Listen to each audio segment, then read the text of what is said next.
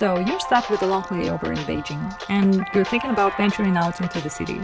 But hold up, before you get too excited, there is a catch. If your layover is shorter than 8 hours, my route might not be the best option for you. I mean, let's be real. With the time you have to spend on the road, plus having a walk around Tiananmen Square and Forbidden City, you might not have much time left to get your connecting flight. Assuming you do have enough time, let's talk about transit rules. Because, as it turns out, it's not as straightforward as just falling out of the airport. First of all, the rules depend on a few factors, such as your nationality, final destination, and airline carrier.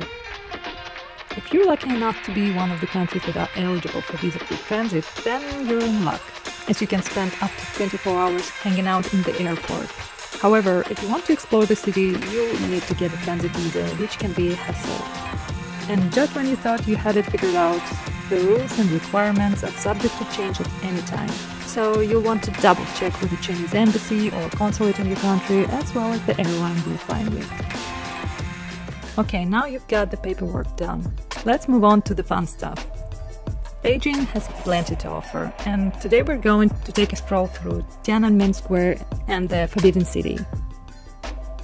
Now, when it comes to transportation, I personally choose to take the express train and then transfer to the metro, which took around 40 minutes and cost around 35 RMB. However, if you're feeling adventurous enough, you can take a taxi or bus, but beware of the traffic, it can be a nightmare.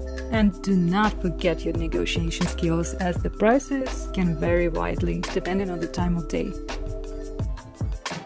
Once you arrive, you'll be greeted by the vast expanse of Tiananmen Square, where you can people watch, walk around, and snap a selfie in front of Mao's mausoleum. Tiananmen Square is one of the largest public squares in the world, covering an area of over 100 acres. It has a rich history dating back over 500 years and has been the site of many significant events in Chinese history, including political protests, cultural celebrations, and military parades. Since Tiananmen Square is just an open space, the time you spend there is really up to you.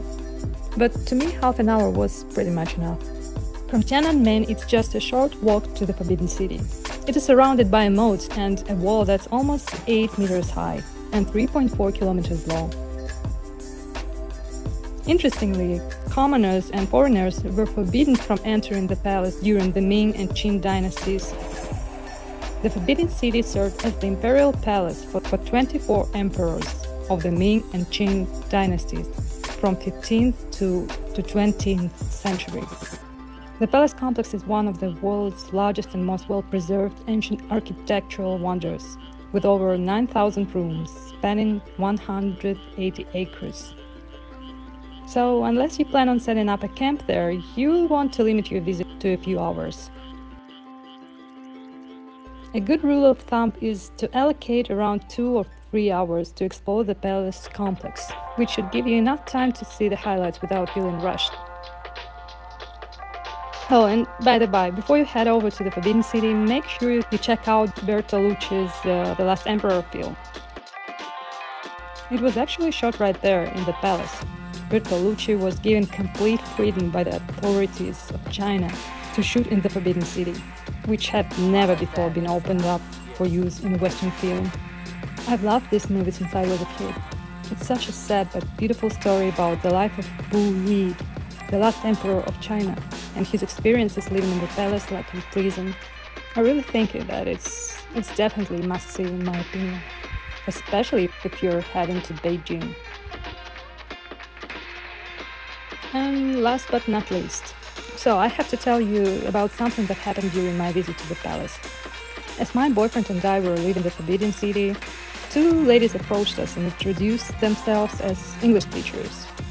They were friendly and engaging, but soon they started insisting that we join them for tea. Initially, we thought that they were just being friendly, but then they became more insistent, and even when we explained that uh, we were running late for our flight, it got us a bit worried, and only later we learned about these scams, the notorious tea scammers. These guys are basically scam artists who target tourists and lure them into tea shops, claiming to offer a free tea tasting or cultural experience. Once you're inside, they'll pressure you to order more and more tea, with prices that can quickly escalate into the hundreds or even thousands of dollars. Now, I know what you're thinking. Who would fall for that? But trust me, these scammers can be pretty convincing. And if you refuse to pay up, they can get pretty aggressive and even follow you out onto the street.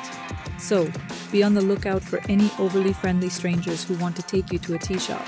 And if you do get caught up in one of these scams, don't be afraid to make a scene and get out of there as quickly as possible.